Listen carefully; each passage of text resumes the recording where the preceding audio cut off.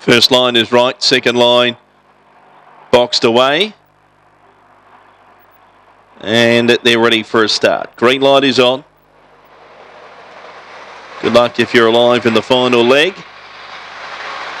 Ready and racing and winning the start out deep was Blackpool. Alexis will shoot across and have the lead from Bumblebee Balto who kicked up along the rail. Euripper Pepper got the third.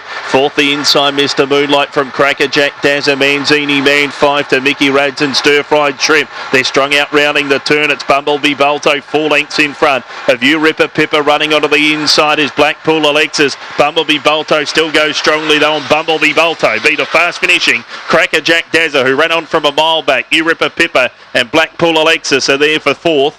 Uh, they were third and fourth. Uh, they were followed across by uh, Stir Fried Shrimp, who was uh, back towards the tail. Mr. Moonlight Manzini Man, we're not that far away.